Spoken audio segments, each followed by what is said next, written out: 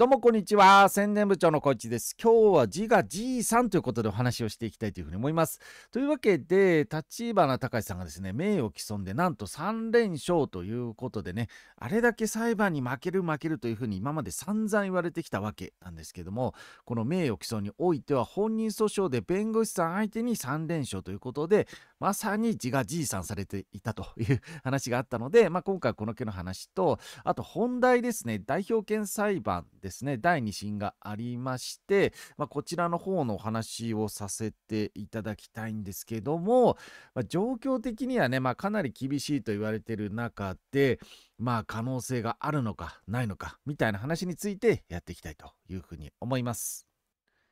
はい。というわけで、こちらが立花隆さんの YouTube チャンネルですけども、翼のとオリーブの木が被告の裁判、立花隆が買いました、勝ちましたと。で、これで弁護士相手に3連勝ですということについて、まあ、まさに字がじいさんを解説してるって話と、それからあ後半ですね、こちらの代表権裁判の方ですね、について村岡弁護士を中心として解説された話をやっていきたいというふうに思います。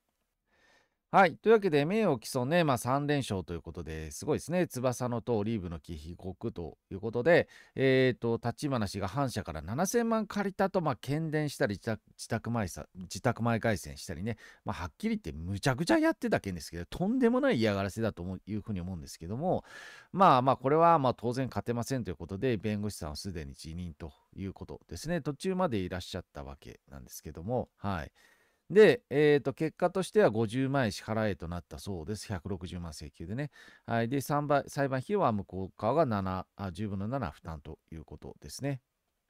はい。で、まあ、その一方ですね、刑事告訴は、まあ不、不起訴になったんですね。まあ同じ件でね、不起訴になったんで、それはさすがにおかしいでしょうということで、今、検察審査会の方へ申し出るという感じで、これはちょっと今後どうなるかって感じですよね。はい。まあいずれにしても被害を考えたら50万つうのはね、まあ安すぎるということでありまして、これ、立花さん本人訴訟でやったから、まあまあ、あの金額もでかいしねみたいな風に思う方もいらっしゃるかも分かりませんけども普通に弁護士さんにお願いしていたらですねただの赤字ですと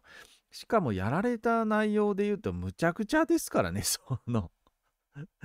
いわゆるまあ政治活動に名を借りながらやっぱ自宅前外線とかむちゃくちゃでしょ？っていうことをやられていたって感じでしかも内容が虚偽だったということなんですよね実質的にね。っていうことになるのでまあまあこんなのがねでもさいや、これがなんかじゃあ民事だとお金払うだけじゃないですか。そうするとお金持ちがね、やっぱりあいつ許せないなと思うと、じゃあこんな感じでね、偽造させて、その、まああいつを反社と絡んでるやつだみたいな、いわゆる反社ハラスメント含めてできちゃいますよね。で、それが例えば性的だったり、あるいは経済的な相手、なんて言うんでしょうね、そのあのライバルだったりすると、まあ、正直50万とかだったら安すぎるでしょ。安すぎるからできちゃうわけでそうだから本当はこの刑事事件っていうのは刑事告訴は非常に重要に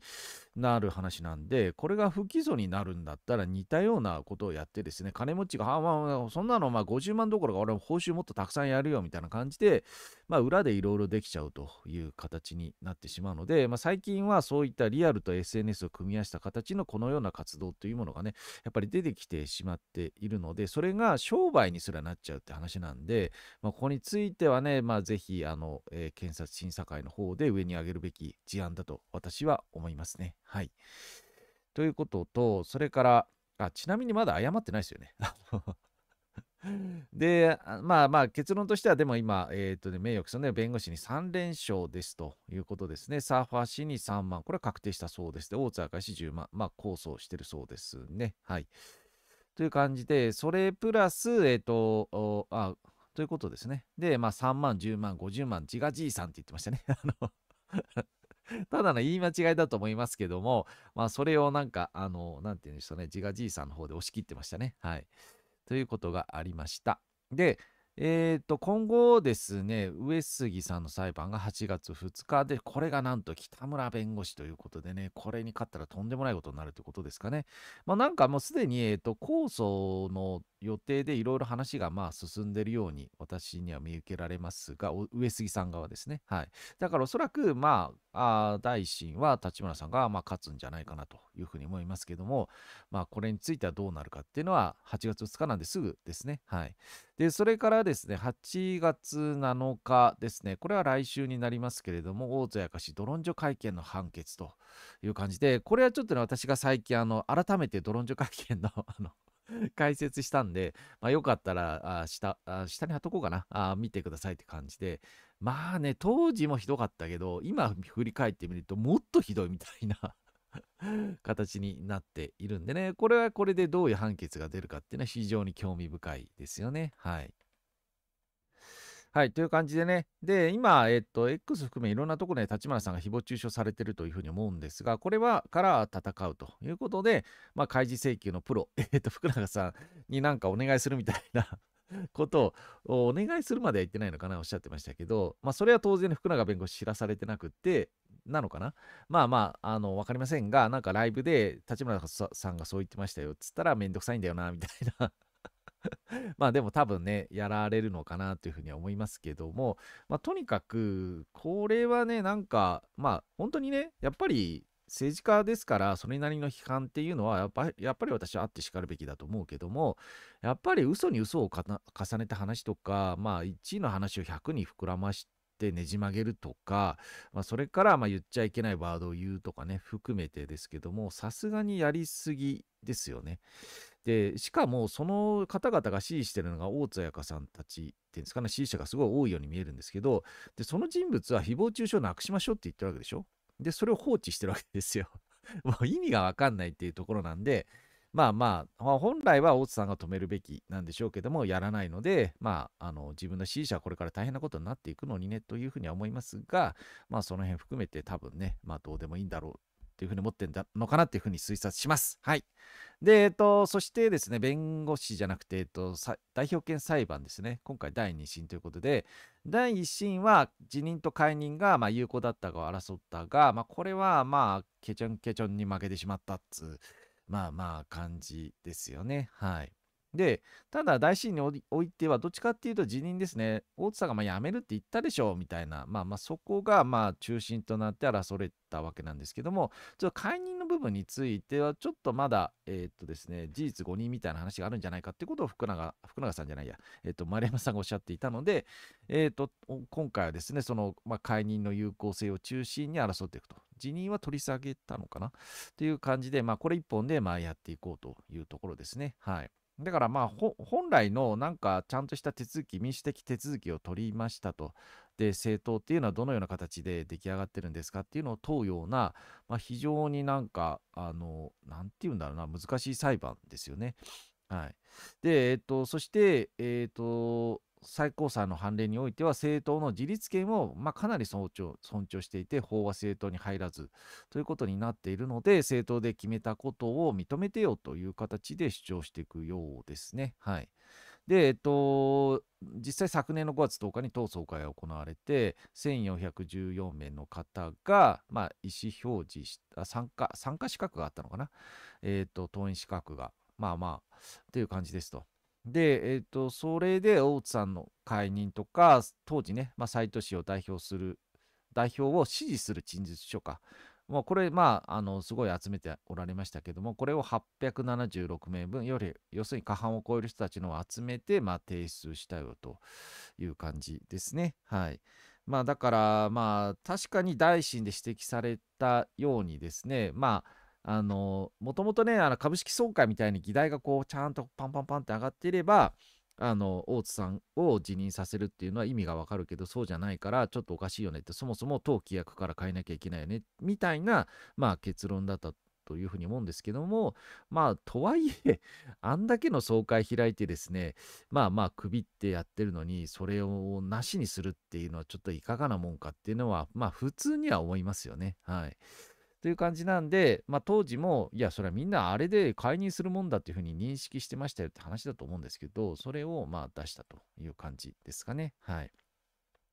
ということで、党内の意思決定を否定するのかみたいなところで、政党の意思決定を従来の反乱に従って認めるかみたいなことを、まあ、求めていくという感じですかね。はい。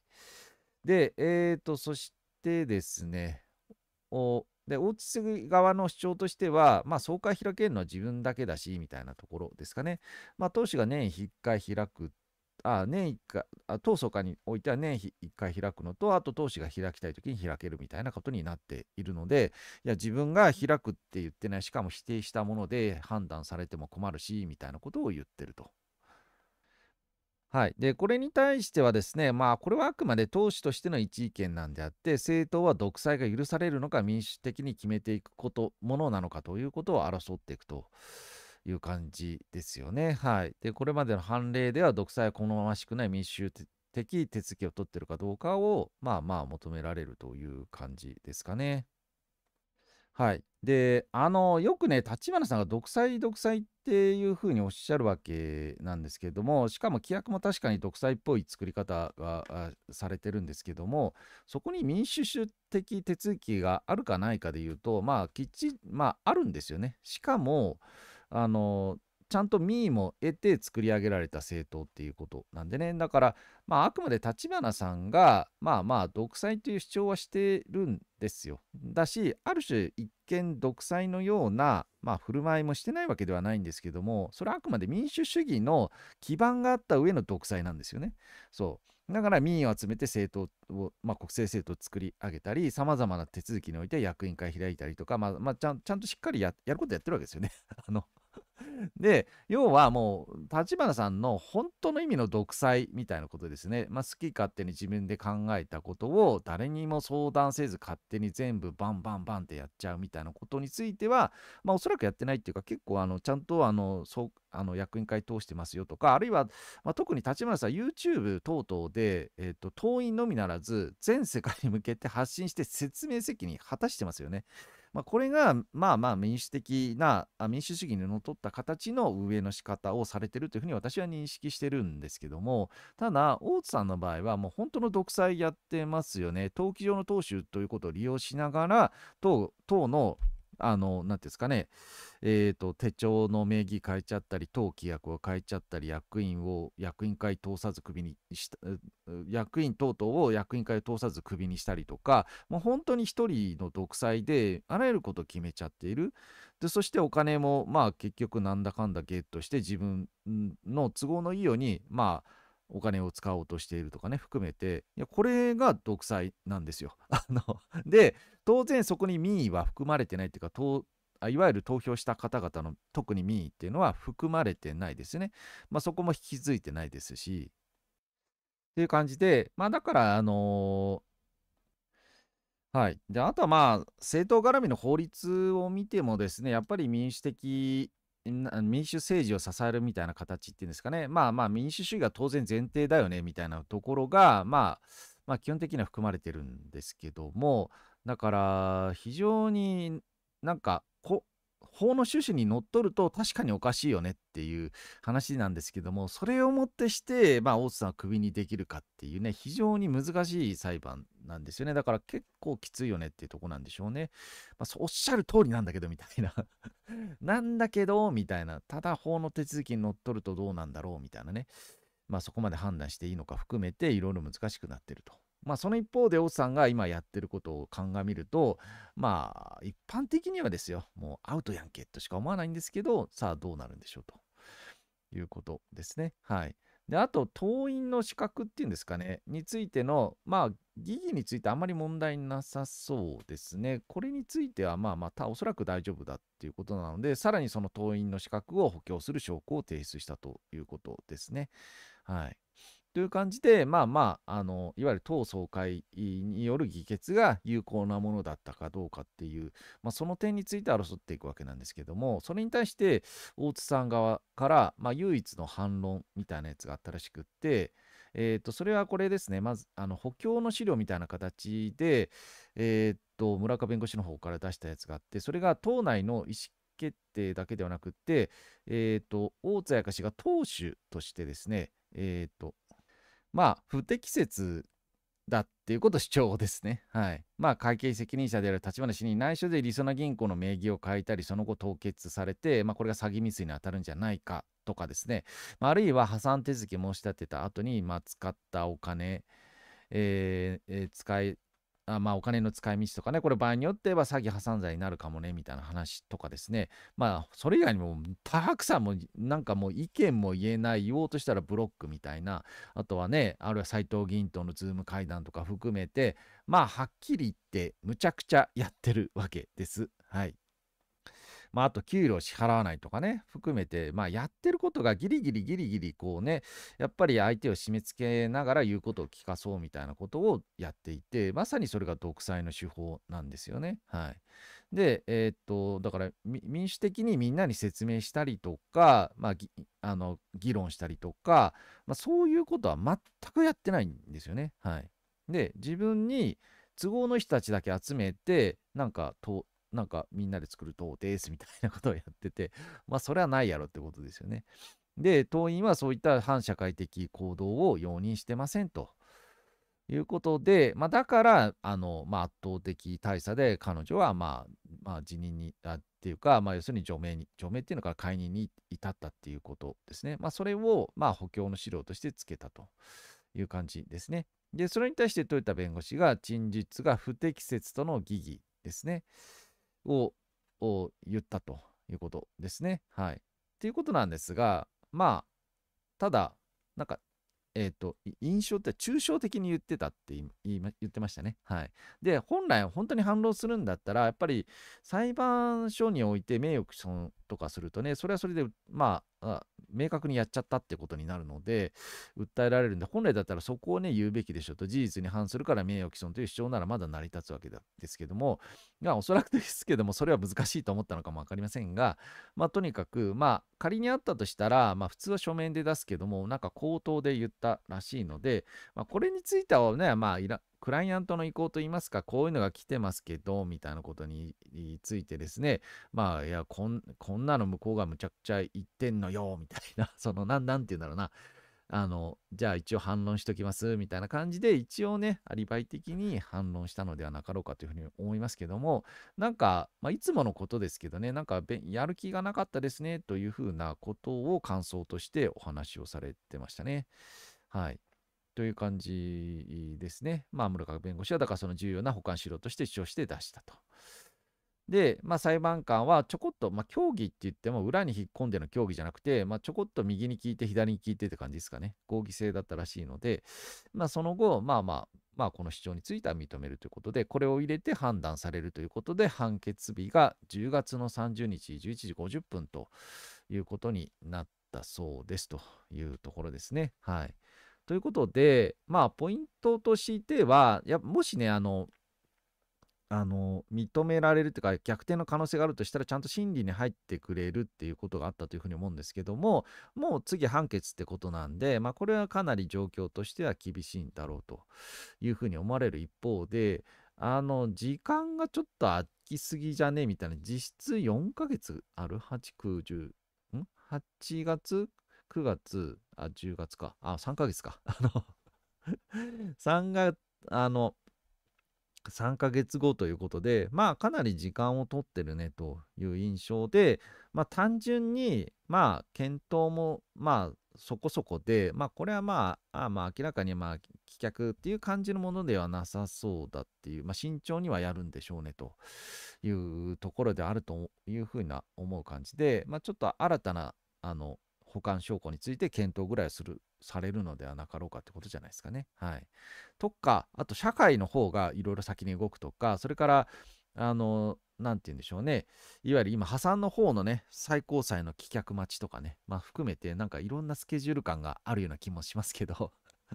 だから、これ、なんか、あの、状況的に言うと、まあ、9月の終わりか10月の初旬ぐらいに最高裁の方の破産の方のね、棄却が出て、で、その後、これの最高裁判決が出て、その後に債権者集会みたいな感じでね、まあ、あっていうのが予想できるかなと。まあ、それを鑑みるとですね、あの、債権者集会はなんであんな先にしたのかよく分かったみたいな感じで よく考えられてるな、みたいなところはある感じですかね。はい。で、あとは、まあ、私が気になったのはこの時間ですね。11時50分っていうところで、いや、なんかね、ちょっと私は裁判官の人たちはよくわかんないんですけど、普通お昼休みに入るじゃないですか。だから、もう、なんか、棄却だったら、棄却しますで終わりじゃないですか。だから、まあ、他の判決もそうなのかな。まあ、っていう感じで、まあまあ、あの、あもうこうひあのあっという間に終わるから、この時間に設定したのかなというふうにも思ってしまいましたけども、これについてはちょっと事情はよくわかりません。はい。で、あと、それに対する一応ね、大津さん側の、まあ、なんていう反応を一応出していこうと思いますがですね、えー、っと、判決、判決っていうのかな、えー、10月で控訴棄却だと考えますが、まあ10、10, 月31日ですね、まあ、控訴棄却だと考えますが、背任等で告訴されないと考えていると思うので、制度的に可能な最高裁まで時間稼ぎするのではないでしょうかと、全然関係ないことを言い出してるんですけども、はい。で、そこまでかかるなら別件の捜査機関の動きが早いかもしれませんねということで、これはお互いにこれを言ってます。さあ、どっちが正解でしょうみたいなね。いうところになるわけなんですけど、まあそうですね。まあそれ以外にもなんか YouTube のなんか最近ショートやってるようで、そちらでもいろいろ言ってましたけども、なんかもう政治とかじゃなくて、本当になんか裁判になんかちょっとだけ詳しい女子みたいな感じになってしまいましたね。あの 一生懸命説明してましたけど、まあそ本当に政治家やる気ねえんだろうなと思いますけど、あの、まあ来年のね、まあ、最終的にまあ3月ぐらいまでにはまあまあ結論がまあ出るんじゃないかと。いうことなんですけどね。まあ別にそれどっちの結論が出ても大津さんとしては積んでるんですけどね、それをなんかちょっとあまり理解してないのか理解してって言ってるのかよくわかんないんですけど、これだって大津さんが普通に勝ったら、いや破産投手決定みたいな感じで、まあ、そちらの責任を問われていくし、で逆に負けたら負けたでその投手でもないのにこんなむちゃくちゃな決断たくさんしやがって背任含めてむちゃくちゃやられるわけでしょっていうことだというふうに思うんですけどね。だから立花さん側はどっちの結論が出ても大、まあ、さほど大きなその損害が出ないような対応を取っていたというふうに思うわけですか。らあらゆる可能性のことを言ってましたよね。ですけど大津さんは自分が勝つことしか考えてないから当然そういうの考えてなくってまああのどっかで転ぶと大変なことになるという感じで、まあさすがに今回はどっちに転んでも、まあ大変なことになっていくっていうところですかね。まあ唯一のまあギリギリセーフなポイントとしては、まあちゃんと今払えと言われているものについて、まあ少しでも早くお返しするということに尽きるんでしょうけども、それもどこまで争うかについてはようわからんって感じですね。はい。というわけでね、まあちょっといろいろありますけどもね、まあ代表権裁判においてはですね、まあ私はまあどっちでもいいって言ったらちょっと語弊がありますけれども、まあまあ、勝てば、まあ、それはそれで、まあ、立花さん側に戻って、まあ、ちょっといろいろめんどくさいことはたくさん起きますけども、それはそうだよねって思うし、逆に負けた場合においては、やっぱりあの法律変えなあかんよねみたいな 話に、まあ、おそらくなっていくんだと思うんですよね。まあ、こんだけ分かりやすい乗っ取りと独裁を一人の人間ですよね。まあ、一人って言うと、それまあ語弊もありますけども、多くの、えー、っとそこに、まあ、投票した人、党員、職員、それから国会議員含めて、みんなが望んでない形っていうか、に反抗する形で一人の人間がこういうことができてしまうってことについて、まあ、認めんのか認めないのかって話ですよね。で、認めるってなると、民主的運営がなされてないものを認めちゃうって話なんで、じゃあそれができるような法律に変えましょうっていう話になるだけだと。いうふうに思うっていう感じですね。どっちにしても大津さんの責任は問われていくんだというふうに思います。以上です。ご視聴ありがとうございました。チャンネル登録もよろしくね。